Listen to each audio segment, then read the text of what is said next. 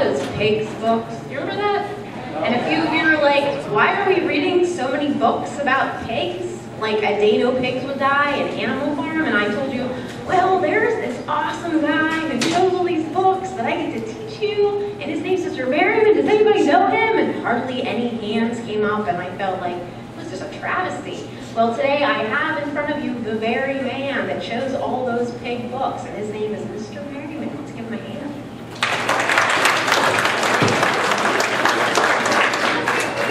Thank you, Mrs. Deskovich. Do I have that name correct? Okay. Uh, I kind of get frightened when she said, you know, I was Bill Treat. I don't know. I have some other names for myself, but we'll see. Those pig books. Uh, you know, my grandfather had a farm, and he used to make me work on the farm, and I was always filled with such a sense of self-pity. Oh, he's going to make me shovel manure today. Oh, he's going to make me bale hay today. Well, the thing that struck me about the book A Day No Pigs Would Die is the fact that that poor kid had to do much more than that. You'll recall what it said in the book, that he even had to dig the grave for his own father and then run the farm after that. So I thought, you know what, this does teach lazy people like me, lazy whining people like me, something about having a work ethic. And so that's the reason I chose the pig book. But I do apologize to those of you who just had had enough of pigs by the time you were finished reading that. Because I know even when I was teaching, there would be kids come to me and say, uh, oh my goodness, why are we reading yet another pig book? And I would say to them the same thing I said to you.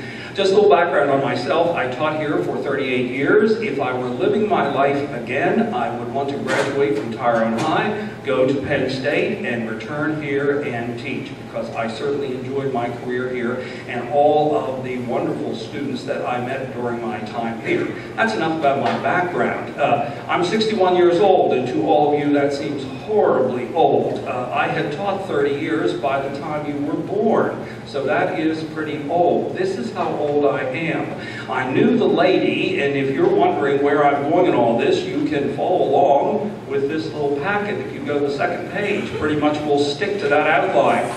I knew the lady who wrote the alma mater. Her name was Josephine Durr Height, and in 1925 she was sitting in the library not doing any work, and the library, I wasn't there, I don't want you to think I was there in 1925, but uh, the librarian came to her and said, look, if you do not get to work, I'm throwing you out of the library. So Josephine Durr, she just told me this in uh, 2010 at a class reunion, she said, I just sat there and wrote a poem, and it turned out that the poem became your alma mater, ours is a school to love. The guy who wrote the melody for that was a guy by the name of Benjamin Jones, and he said, no one thinks that I wrote that melody. He said, I was in the band, I played the trombone, but they just don't think I could have done that because I'm a lawyer now, and lawyers aren't supposed to write music. But those two folks, Josephine Durr Height and Benjamin Jones, Colonel Benjamin Jones they call him, uh, were the authors of our alma mater, and in fact, I knew them. I had their acquaintance, so I have been around a while. I think it was Abraham Lincoln who said that uh, America was the last best hope of the world. I think we could apply that to all of you. You all are the last best hope of the world. Uh, you don't need to look too far to see that the world's in kind of a mess, and we probably do need to look to the younger generation to hopefully straighten some things out. You are not going to be able to straighten things out unless you know where you came from, unless you know something about the past. And part of today's presentation is going to talk about uh, the history of this school, the past. And I think you will have a better understanding of what's going on today if you get that. Uh, but also, I'm going to try to share with you a couple words of wisdom because if you teach 38 years and if you go through high school and graduate and go through college, hopefully you learned something.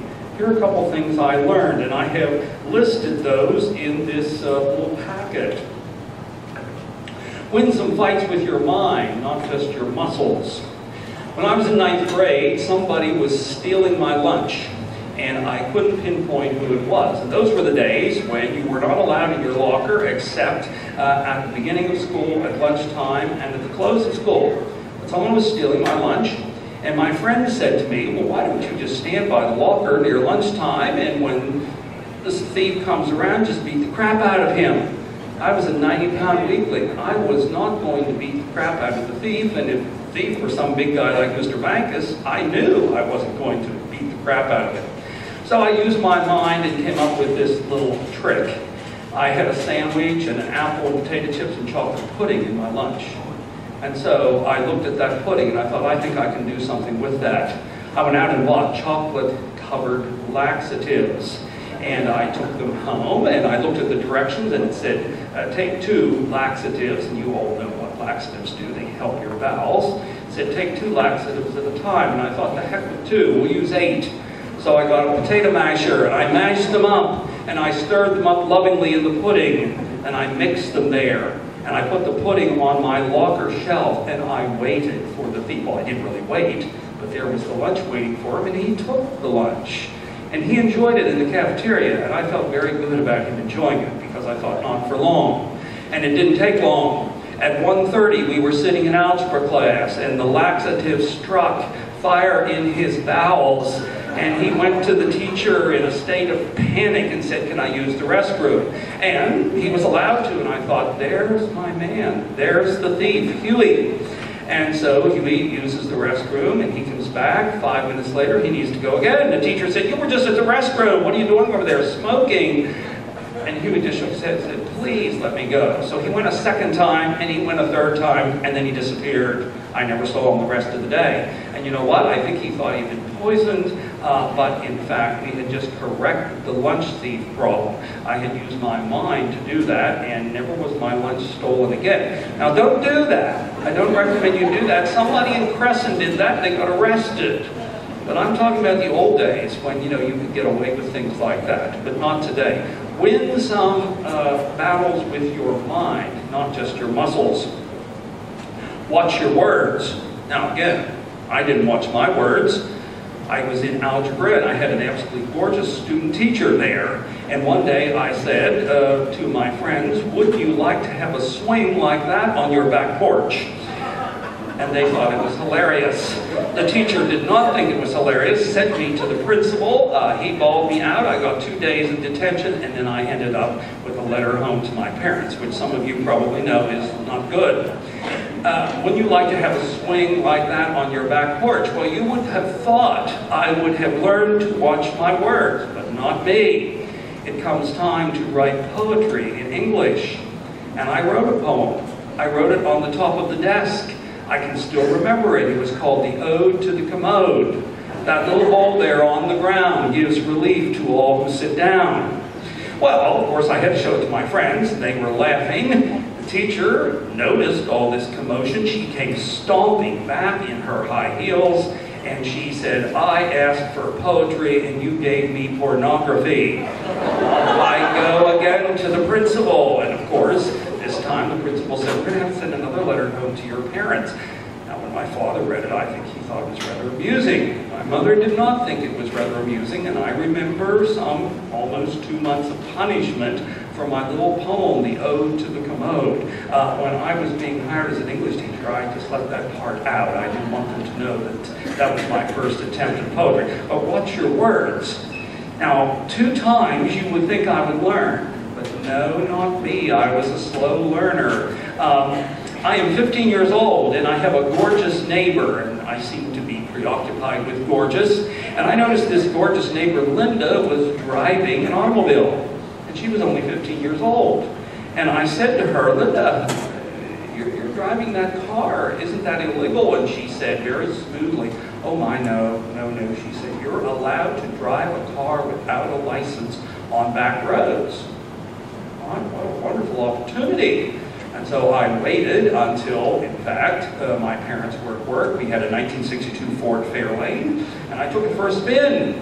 And it was a nice summer day, and I took it from Bald Eagle to Vanscoy Hollow, up around the scout camp, down through Decker Hollow, and then I reversed things and came back. Had a good time. Had such a good time that I did it again, a second time. And uh, in fact, what I did not know in all of this marvelous ride was someone was watching. A guy named Jake who worked with my father, but he was off on vacation or something. And Jake says to my dad, saw Richard driving. My dad said, well, he wouldn't be driving. He's not old enough. He doesn't have a license. And Jake said, he was driving. He was driving your 62 Ford. Well, I think my dad thought, you know, maybe he was. So my dad goes out and checks the odometer. And he finds the mileage is a little bit up. At that point, my dad gave me the opportunity to use words rightly. He said to me, know, Richard, the, the odometer reading on the car seems to be up a little. I wonder what's going on. Now, I could have come clean at that point. I could have told the truth, but I didn't. What a lie I told. I said, well, the neighbor's car broke down and I let her use ours. How stupid, because of course he checked with the neighbor. That was not true. Now, my dad did let me get my license after that, but in fact, uh, I got my license same month as the prom, and I was fully expecting to drive to the prom. And my dad said, you won't be driving? I said, I have my license. He said, I know you have your license, but you won't be driving to the prom because of the lie you told. Didn't use words rightly, and so he drove me to the prom, if you can imagine your father driving you to the prom. Uh, and I mean, I would rather have not have gone. He said, oh, you have to go to the prom. You'll enjoy yourself. Well, I certainly didn't enjoy the ride to and from the prom. And it was sort of a reminder to me, please watch your words. Okay, that's the second thing. You know, uh, try to win some fights with your mind uh, rather than your muscles. Watch your words. And then walk in somebody else's shoes. And look what I added there even if they have no feet. This brings me forward probably about 30 some years. Uh, I had a homeroom, a ninth grade homeroom one year, and there was a kid in there who did not want to pledge the flag. And that kind of bothered me, but you know, I recognized that the kid had the constitutional right not to pledge the flag. But one of his advisors came to me and said, oh, he thinks it's stupid to pledge the flag. And then she used another word that I just couldn't handle. She said, he thinks it's queer. And I thought, oh my, you know, let me get my temper under control. And I thought, what can I do to sort of convince this kid that he might want to try to pledge the flag? I didn't say anything to him, but it was when my father was in Epworth Manor as a patient. He was there six months before he died. And in his room with him was a World War II soldier who had no family, George, and he had had both of his legs blown off, or his legs up to his knees. And so George needed to use the restroom. He needed help. He had artificial limbs, but he still needed a lot of help.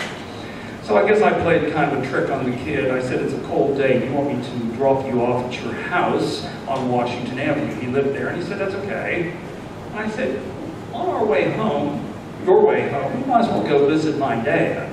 That wasn't who I wanted him to see. So we go into the room where my dad and George are, and uh, the kid notices this guy without legs, and it's not too long till the guy needs to use the restroom. And I said to the kid, um, we'd have to help him to the bathroom. He said, what do you mean? I said, I mean, we have to help him to the bathroom. And so, in fact, uh, this kid and I helped George struggle there to the restroom uh, without any legs. And I could see, I think, those gears turning in that kid's mind like, oh my good grief until we get him there and we get back. And um, the kid said, what happened to him? Because I had really not explained. And my dad sort of sat up in the bed and he said he had his legs blown off in World War II, like a lot of soldiers. The kid almost backed out of the door. My dad said it so loudly.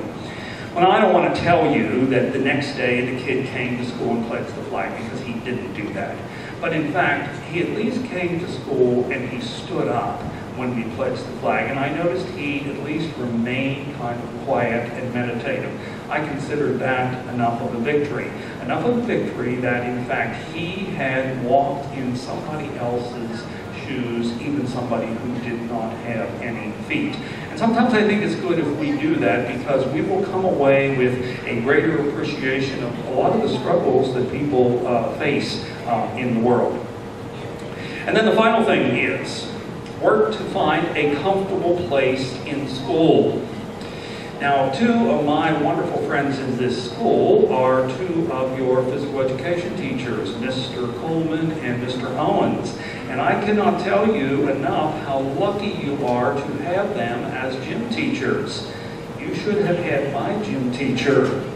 My gym teacher, when I had him in ninth grade, would always address us as men.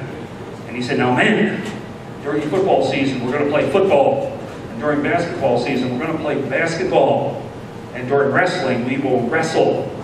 And then there were those other times when there wasn't necessarily a sport going on, and then we had something I dreaded with these toothpick arms of mine. We had gymnastics. So I can remember vividly the day that I was in ninth grade, and the teacher said, the gym teacher said, now men, today we're going to climb those ropes, and we're going to climb the pegboard. And for me, tragedy was that uh, my name started with M. I was in the middle of the alphabet. And usually the gym teacher would take a person whose name started with A, a guy who was an illustrious quarterback from this high school, Barry Anderson, and he would have Barry do it, and Barry would do it perfectly. And then he'd jump to M, and it was me, Merryman, and that wasn't so good. I remember the day that I had to box Mr. Anderson. Oh my goodness, what a short career. I think it was 10 seconds long. I was knocked to the floor. But anyway, he says, okay, we're going to climb the ropes. Well, I can't get up the ropes. And then I tried the pegboard, and I get to about the second row of pegs, and I fell off. Well, the gym teacher was just appalled. He was enraged. And he said, Merryman, you're a disgrace. And then he used one of his lines that he quite often used. He said, you belong over with the girls. The kids were laughing hysterically. And at that point, I kind of picked myself up off the ground, and I thought, you know what, I'm not going to be a baseball pitcher like Mr. Coleman, or a running back like Mr. Holmes. I better find some other way to find a place for myself in school. And so I did. I realized that probably if I couldn't play baseball or play football, I could use this instrument over here because I had been playing the piano, taking some lessons, but I hadn't been really concentrating too much. And at that point, I decided maybe that's what I better work to do so that I can find a place for myself in school. And so I did that, and I'm just going to play a solo there now. I have the words to the solo. Uh, I think you'll know to prove that maybe I did do a little bit of practicing.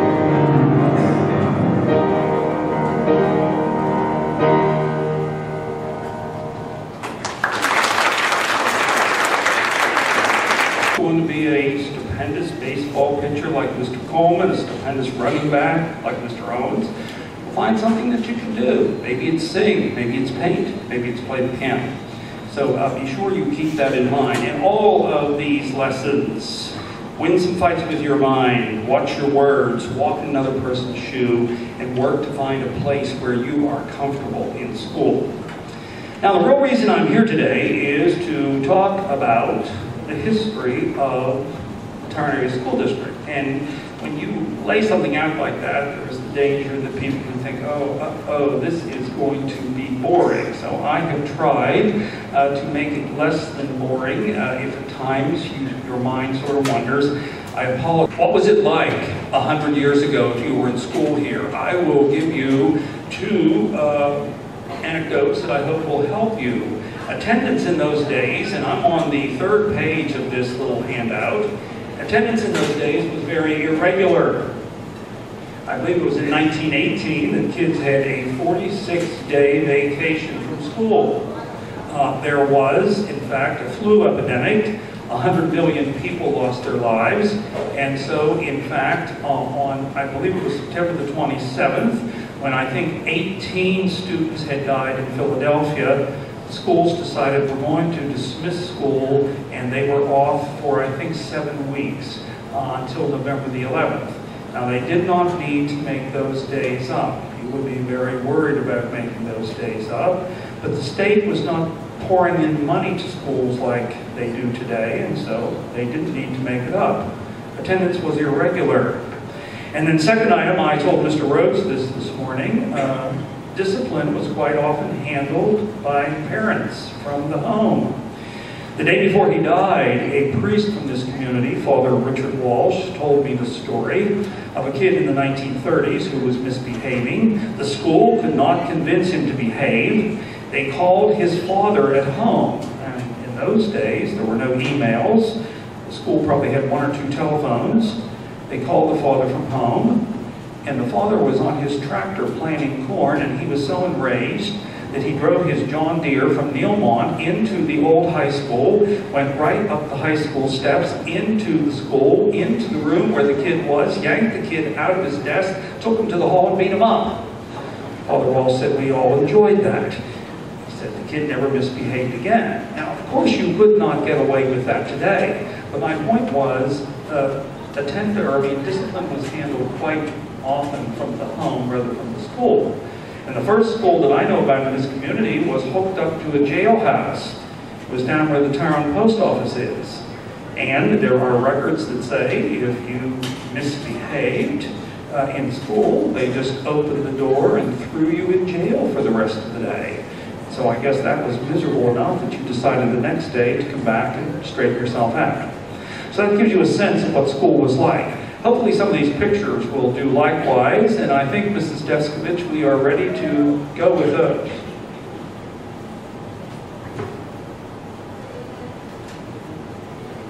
This is the first high school, and if you look real closely at it, to your left, you will see way over there on the left uh, a little extension because the first high school was actually four rooms added to Logan Elementary School, located where Sheetz now sits. Four rooms was the high school. Now you can pretty much figure out what went on. There was a room for ninth graders, a room for 10th graders, a room for 11th graders, and one for 12th graders. And that meant that you stayed in that one room all day long with the same teacher. There was no cafeteria, there was no gymnasium, just you and the teacher in one room. That was the first high school in Tyrone, and that school lasted from 1877 until 1911. That's what it looked like, and it was located where the Sheetz Market is. You probably can go home and ask your parents, where was the first high school, and I guarantee you they're going to be wrong. They're going to tell you it was along Lincoln Avenue. It wasn't. It was there where Sheetz is located, the first high school. Okay, that's the second high school built in 1911, and the kids entered that school on September the 11th, 1911. It had four grades, it had no cafeteria, it had no gymnasium. It was just a collection of classrooms. Okay? These fine-looking ladies are Tyrone's first basketball team. First women's basketball team, and this was 1916. These girls played basketball, and I think those rather strange-looking scarves that they're wearing, my understanding is that uh, around their necks, that when they went into the game, they took those off, and then they played. And obviously there wasn't much substitution because I think there's six girls and the coach. And think about this. This is four years before women had a right to vote. Tyrone had a women's basketball team. So don't let anyone ever say that Tyrone is backward. They were in the forefront of athletics uh, from a very early time. Okay, football. These guys are playing football before Gray Memorial Field. And in the days before Gray Memorial Field was built in 1933, in the days, say, the 1921 to 1933, football was played where the ribbon factory is located. And there's a gentleman who lives just down the street from this school named Bill Engelman. He played football on those teams. He talks about the fact that when they lined the field, they used real fertilizer. He said, it is a wonder that we didn't burn our eyes out with that. But that's where they played football, and they had to play it on Saturday afternoons because there were no what? Play on Saturday afternoon. They couldn't play it Friday night because there were no lights. Uh, and that's what they did. Now, I'm the coach of the speech team, and the speech team enjoys the honor of being the oldest team in the school. And part of the reason we are the oldest team in the school was because football was so late in starting. Football did not start here officially until 1921 because in 1896 a Tyrone football player got killed in a game. His name was Benjamin Rich. Tyrone was playing Bellwood at Bellwood. Benjamin took a terrible hit to the head in the days when football players did not use a lot of safety equipment. He got taken by ambulance, I think it was stagecoach ambulance, to the Altoona Hospital. And by the time the Tyrone football team had come back to Tyrone on the trolley car, Benjamin Rich had died. This was 1896. Parents were so enraged by, by this, and rightfully so, that they outlawed football. They said there will be no high school football. And there wasn't any high school football for another 25 years until 1921. Now, I'm not saying that some kids didn't go out and play football in the backyard, but as far as a, an official football team, Tyrone did not have one because a kid had been killed in a game.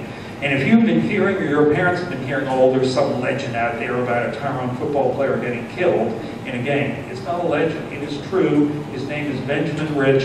Uh, he might have been 21 years old, but he was still playing football for Tyrone. And, and in fact, he's buried, I believe, in the Grandview Cemetery. So that is very true. And that's the reason the speech team was able to get a start before the football team. Okay, keep going. You see a railroad boxcar connected to a house because, in fact, the school had gotten too small for all the students that they had. The community did not feel they had enough money to build a school, so someone brought in a railroad car, that was the hallway, and they hooked it up to a house, and the house contained some other classrooms.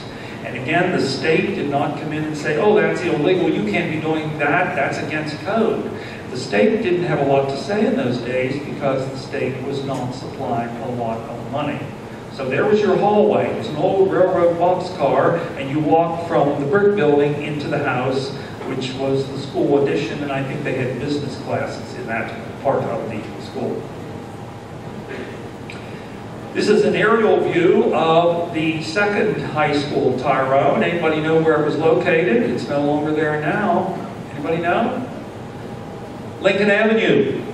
And as far as I know, the only guy in 1957 in Tyrone who could have, in fact, afforded the airplane to take this picture was a guy by the name of Jimmy Gardner, the owner of Gardner's Candy Store and Peanut Factory. I think it was he who took this picture in those days.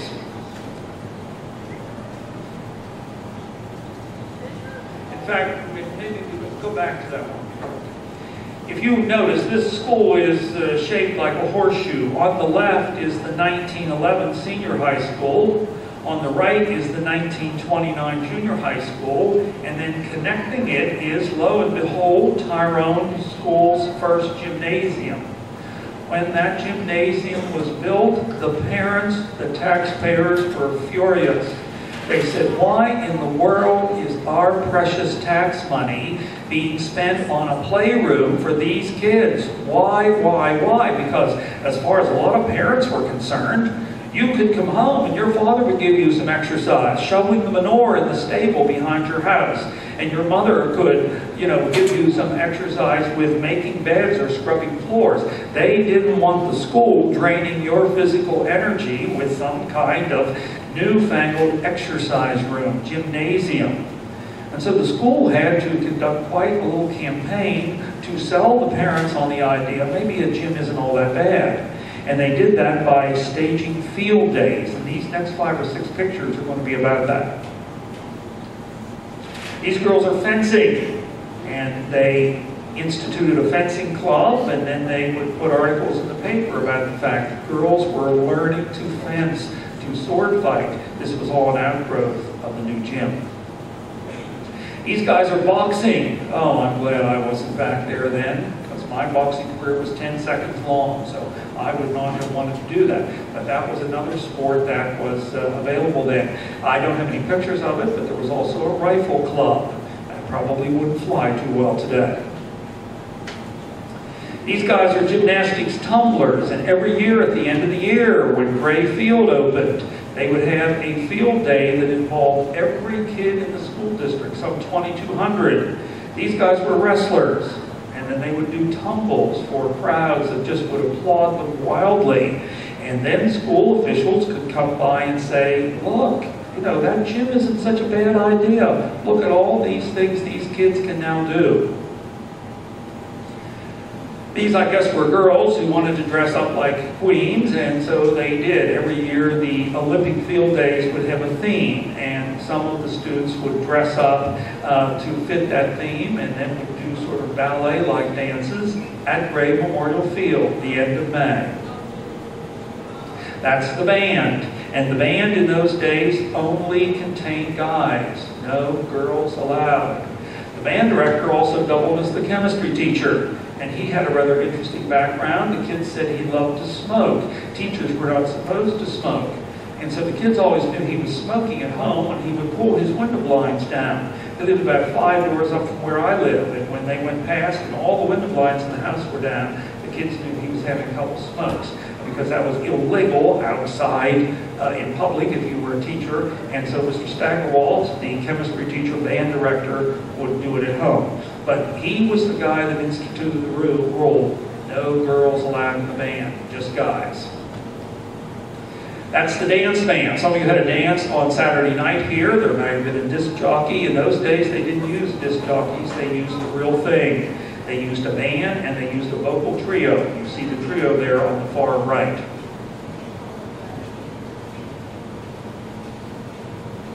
You ought to recognize these guys, Mr. Coleman and Levi Rehart.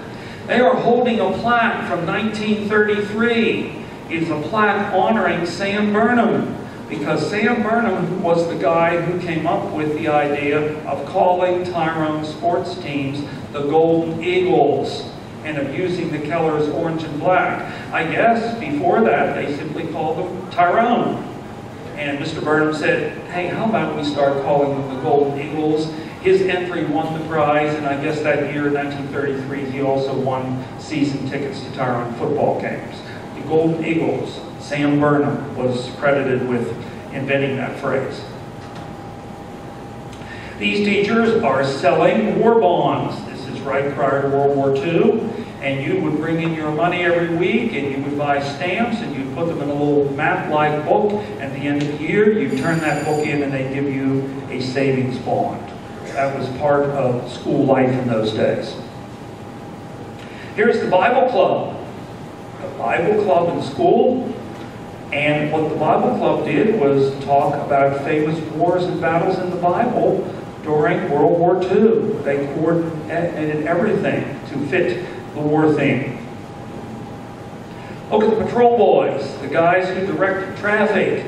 They just don't stand on the front steps of the school, they stand in the shape of a V for victory against the Axis powers, the Nazis, uh, the fascists during World War II. Everything was geared toward winning that war.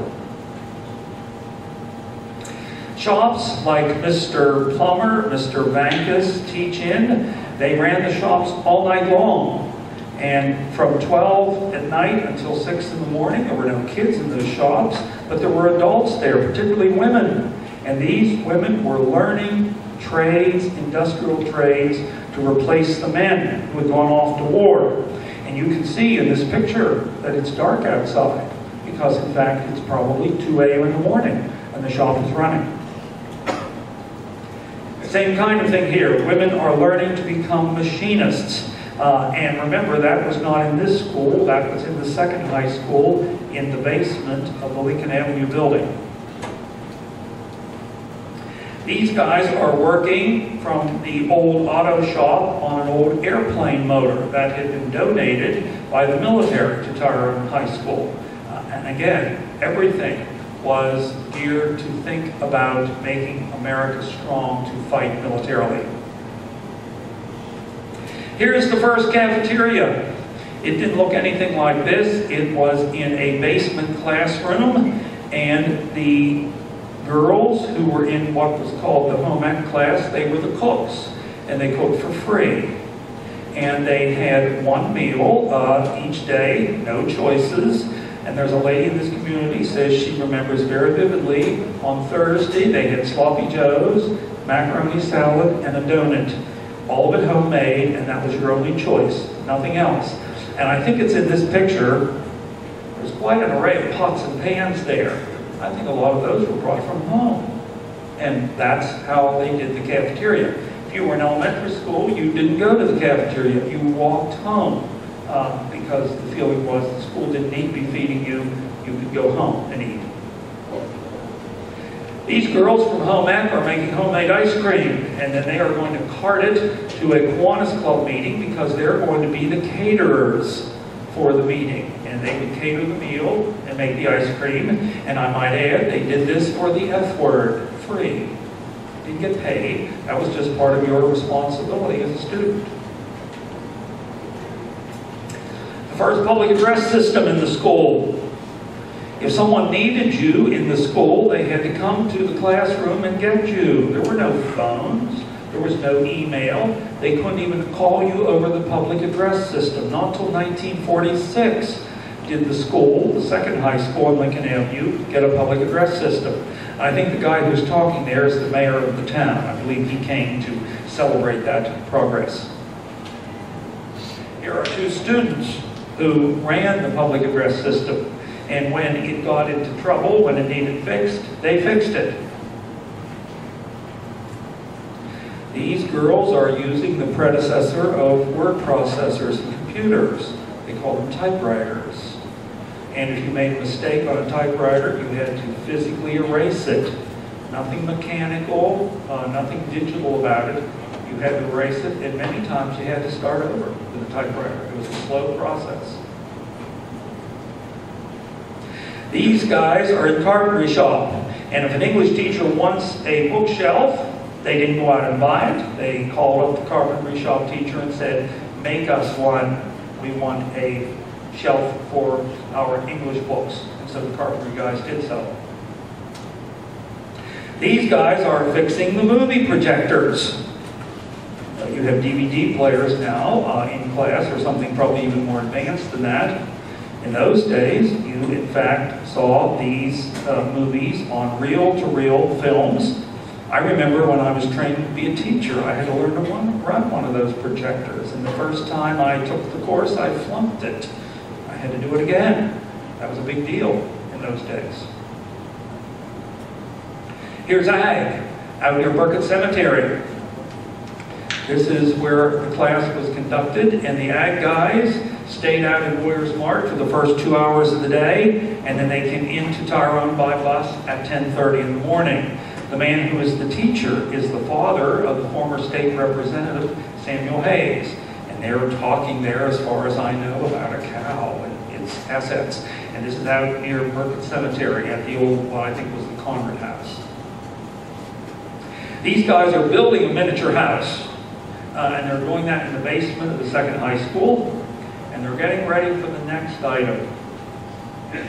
A real house across the street from this school. Once this school opened in 1961, they had plenty of land, and the carpentry shop would actually build houses with assistance from metal and electronics, and I suppose on occasion uh, from agriculture. That's the first house. You can see that house if you drive out the band room entrance to this school. It's still there. Second house, also still there, of the band entrance to the school. Uh, it too was built by our carpentry shop. And none of that could happen until this building opened and they had enough land to do it. That first picture, though, uh, when the kids were in the old building down on Lincoln Avenue, they built miniature houses. And then they expanded that to what uh, you had up here around this building, uh, real houses, real houses that they could ultimately sell. That's all that was left of the old high school, the second high school on Lincoln Avenue, those two pillars. They got purchased for thousands of dollars by someone in New York, and they somehow got trucked there. But if you drive down Lincoln Avenue, in fact, if you go to that corner where the school secretary, Mrs. Aracy, lives, some of you might know where she lives, across the street from her house is a gigantic house painted a kind of light beige that has those same two pillars.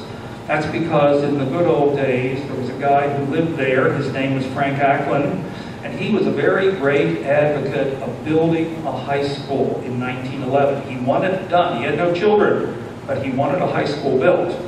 So I think they went to him and said, well, what should this school look like? He said it should have two majestic pillars in the front. Same two pillars that he had on his house. And they're still down there if you take a close look. So that's all that's left of the second um, high school.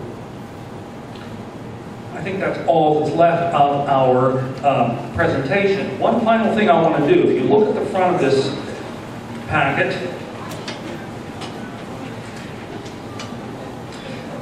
I think if I would want to leave you with anything, it would be this poem for tough times. I've got a roof over my head. I've got a warm place to sleep. Some nights I lie awake counting gifts instead of counting sheep. I've got a heart that can hold love. I've got a mind that can think. There may be times when I lose the light and let my spirit sink. But I can't stay depressed when I remember how I'm blessed. In a small town of strangers, I've got a family of friends. No matter what rocks and brambles fill the way, I know that they will stay until the end. I feel a hand holding my hand. It's not a hand you can see, but on the road to the promised land, this hand will shepherd me through delight and despair, holding tight and always there. It's not that I don't want a lot, or hope for more, or dream of more, but giving thanks for what I've got makes me so much happier than keeping score. In a world that can bring pain, I will still take each chance for I believe that whatever the terrain, our feet can learn to dance. Whatever stone life may sling, we can moan or we can sing. Grateful, grateful, truly grateful I am. Grateful, grateful, truly blessed, and duly grateful I am. Very grateful that I was able to come and speak with you this morning. And again, many thanks for having me. And remember, you are the last best hope of the world. So keep working on toward that goal. Thanks again.